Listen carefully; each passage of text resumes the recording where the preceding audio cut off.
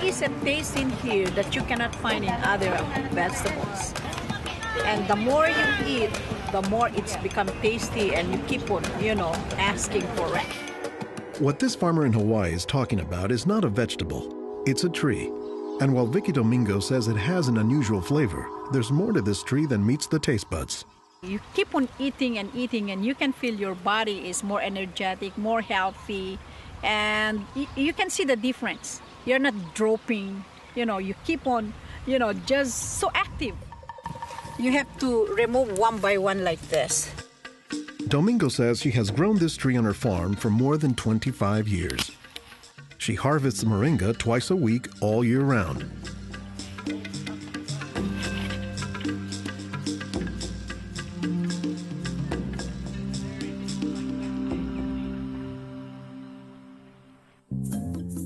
Every week, Domingo sends a thousand pounds of moringa to the mainland. The rest of it ends up here at a Honolulu farmer's market, where most of her customers have eaten it their entire lives. Well, in the Philippines, it's a third country. In other words, not a rich country. We cannot afford to go to the doctor for medicinal purposes. So we use this in our daily lives so we can have more energy, more vitamins to supplement our daily uh, nutrition in our body.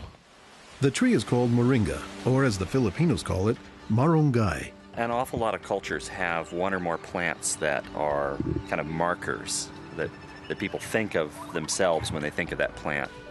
Dr. Will McClatchey is an ethnobotanist at the University of Hawaii. He studies the ways that humans interact with plants.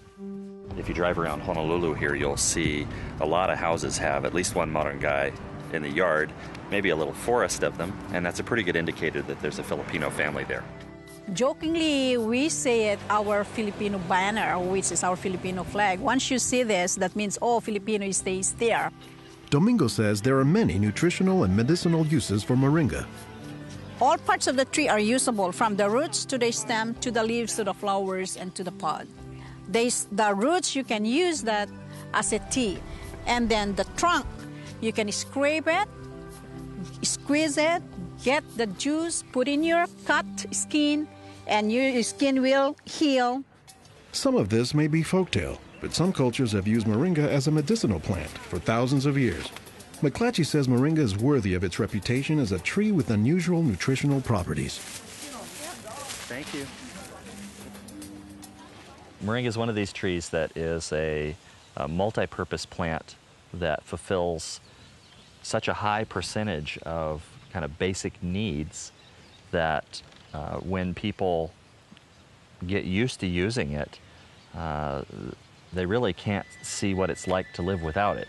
And many cultures don't. Today, moringa is used as a remedy and, in essence, a multivitamin in many of the world's warmest regions. Moringa is used widely in Africa and South Asia, and it's been introduced into South America and Central America where it's also being used. So, you know, this is not just a plant of a single community. We were just talking this morning with uh, one of the owners of this plantation, and he was saying, just telling me how he, the last time he was here, he had a, a handful of moringa leaves and that he worked all morning on it and felt great. Dr. Mark Olson is a botanist and a leading expert on moringa. He teaches at Instituto de Biología, Universidad Nacional Autónoma de Mexico in Mexico City. Here, he is visiting a new moringa farm about two hours outside the city limits. So they've just planted these here, and soon they'll be nice and big. Olson says that while moringa can grow in places like Mexico or Hawaii, the tree is native to arid subtropical regions, places like Africa and southern India, hot places where moringa has proven its persistence. This is a plant that really does uh, do extraordinarily well in, in, in some of the most difficult areas, in areas that are very hot, areas that are very dry, areas where, where other things are very difficult to cultivate. Look at the little tuber there. There's, this is one of the reasons it, it survives so well in dry areas. Also, they're storing lots of water in the wood. Uh, so that, that's one of the reasons this is such a remarkable tree. They, they don't have particularly deep roots. That's sort of a myth about moringas that they survive because they have deep roots. No, they're, they're storing water in their roots in their trunk. But moringa, says Olson, does a lot more than just survive, despite the tree's sometimes scraggly appearance. I don't think they're actually the most attractive tree. They're more a tree that, that you look at and you sort of love the way you love a, a scruffy friend or a scruffy dog. Uh, because the, the branches sort of splay here and there and they get burdened down with huge quantities of fruits on them. And uh, that's actually what makes the tree so remarkable, is that it's such a generous tree. And that's because people have found multiple uses for so much of the tree, including its seeds. They're full of oil. You press the seeds, and then this wonderful aromatic oil comes oozing out, uh, which you can use for cooking, you can use for cosmetics or lubrication or whatever. Uh, and the cake, the press cake, the, the, the stuff that's left over after pressing the seed, that is what's used for water purification. Water purification, Olson says, is especially useful in developing countries where clean water is hard to come by. But the benefits don't stop there. Some of the things I think are most exciting about moringa is, for example, the high vitamin content. There's a lot of vitamin A in the leaves. Uh, and uh, worldwide, that's a problem. Uh, a lot of people uh, have problems in development of their eyes because they don't have enough vitamin A. Moringa's vitamin A content and its content of vitamins in general has caught the attention of scientists around the world. So I started to read about moringa and I was absolutely amazed about the richness, richness in nutrients, in many antioxidant compounds, in vitamins. Dr. Monica Marcu is a pharmacologist who has studied many plants she has done extensive research on moringa and says it has significant nutritional potency. This subject is one of the topics of her recently published book, Miracle Tree.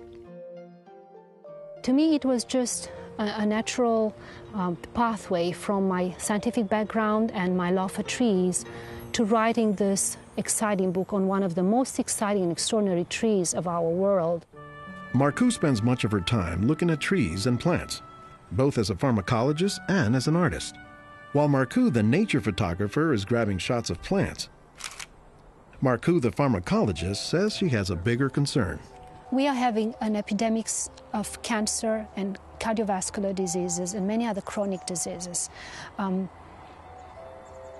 it, it's just, it's because we basically do not eat what we are supposed to eat. Most of the plants are famous for a particular type of nutrient. Like, for instance, um, the orange or the lemon um, is famous for a high content of vitamin C. The spinach, for instance, on the other hand, is famous for its iron content. Moringa is very unusual because this single plant contains a wide variety of nutrients, but also in quite very high amounts. Marcu says this concentration of nutrients combined with low calories and low sodium content makes moringa an ideal energy food or supplement that can help offset the typically unhealthy Western diet. Many of the Westerners are also deficient in antioxidant and anti aging substances that are mostly found in plants. Antioxidants, according to the National Institutes of Health, protect the body's cells and may prevent cancer. And Marcu says moringa is a treasure trove of antioxidants that happen to work hand in hand. Antioxidant substances and antioxidant vitamins work together in the body. For instance, it's known that selenium works better in the presence of vitamin E. Moringa has high amounts of selenium and has also vitamin E. While many plants contain antioxidants, Dr. McClatchey says that moringa is also high in the nutrients we usually associate with meat. Moringa is well known for being a, a good source of leafy green vegetable protein. And uh, you, you don't get a lot of protein out of uh, many vegetable foods other than like beans and things like that. So uh, getting it out of the leaves is really a big deal. And while there are a few other plants like soy that are protein rich, Olson says moringa is special. I have a lot of food allergies. I'm allergic to wheat, I'm allergic to eggs. Soy tends to be a fairly highly allergenic food. It causes allergies easily in many people. Uh, we think that this is because of the, the form that some of the, the proteins are in in soy. Uh, they're apparently in a form that's very simple and fairly easy for the body to assimilate in moringa. According to the United States Department of Agriculture, moringa contains 18 of the 20 amino acids, building blocks of proteins that are found in the human body. And says Marcu, moringa is one of the few plants that contains all of the essential amino acids. Moringa contains all the nine essential amino acids that actually we cannot produce. um, their presence, but also their ratio is very beneficial. And um, it is estimated that this ratio is very good for absorption and for being bioavailable to our bodies. Further research is needed to establish the bioavailability of all of moringa's nutrients. But in some places, scientific studies may be too long a pursuit and take a backseat to a harsh reality. In most of sub Saharan Africa, any baby has uh, a 20% chance of dying before he reaches the age of five. In some countries, up to 40%. And even those who survive past the age of five, up to half or more will suffer from malnourished physical and mental development. C'est des lésions de malnutrition. These are lesions caused by malnutrition around the neck and around the waist. They are dry now, but will become permanent scars. As the former regional representative for Church World Service in Senegal for 16 years, it was Lowell Fuglie's mission to help local clinics develop ways to save children at risk to malnutrition. Having been born myself into a middle class American family, I thought it was just by chance that I was born in these conditions and not in the condition of a poor African family in the bush of Africa and living a malnourished life. And so I have a certain obligation to share what I received. In his quest to combat malnutrition, Fuglie came across moringa in the late 1990s. It contains more vitamins and minerals in various combinations than you find in any other possible vegetable. And I thought to myself, if this source of nutrition could be made available at the village level, then this could be a very effective tool in preventing malnutrition. What Fuglie says he didn't know at the time was that the Senegalese people were already familiar with moringa. It was only uh, through a Peace Corps volunteer working in forestry who told me that, oh, moringa is already growing in Senegal. Not only was it growing, the people had been using it for generations, only they didn't refer to it as moringa. They called it nebedai, which Fuglie suspects comes from the English words never die, after the tree's resilience. I ask any Senegalese, do you know the nebedai tree? Oh, yes, my mother makes a sauce from the leaves of this tree. We call it mboum. Every Senegalese knew this tree. The problem, says Fuglie, was that it was prepared and used in ways that diminish moringa's nutritive contents. They boil the leaves too long, they throw out the water that is boiled in and where the many of the vitamins are located.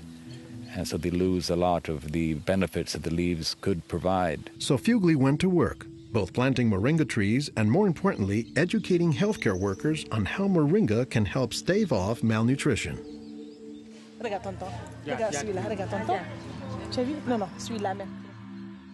Pour le moringa, I was trained in 1998, and right away we saw the virtues of using moringa because of its very high nutritional value. So we began using it right away on an experimental basis. après la formation, con le moringa. Healthcare workers learned to grow their own moringa trees, dry the leaves, and pound them into powder, maintaining all the nutrients. Nursing mothers were taught to add a spoonful of moringa to their food morning, day, and night to increase their milk production. They were also told to add moringa to all of their family's meals. When we introduced this tree in Senegal, or uses of the tree and different ways of using it, the reactions of the people there was that, well, this is our tree. You know, you're just adding on what we know already. As people changed their habits, Fuglie says the results were clear, especially among children. They'll look happier, they'll have more energy, they'll smile. Uh, when they came to the clinic, limp, eyes drooping, no energy. And within three weeks, you see them bigger, healthier, and smiling. La récupération avec le moringa a été beaucoup plus rapide. We observed that it was much, much more effective than the classic system we had been using, which was based on imported and costly products, such as milk powder, sugar, and vegetable oil.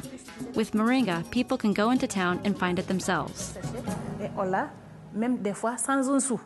Moringa is still being used, it's still being promoted, it's still being very valued, even without our input from the outside. Moringa, it doesn't die, it can continue on its own. So you have to eat the moringa in a daily basis. and they're- all their grandkids are eating it every now and then. Even my own children, and they are already professionals, and yet they come home and eat it.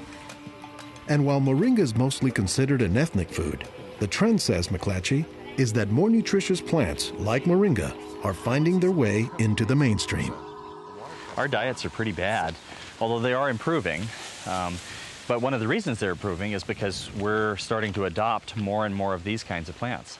I've been in villages where the only trees that survive and grow well are Moringa oleifera, uh, which is really amazing when you consider how many useful things the tree provides. Moringa has, it comes very close to being a perfect source of nutrients in terms of variety and concentration. So that is, I think, very unique about this moringa tree.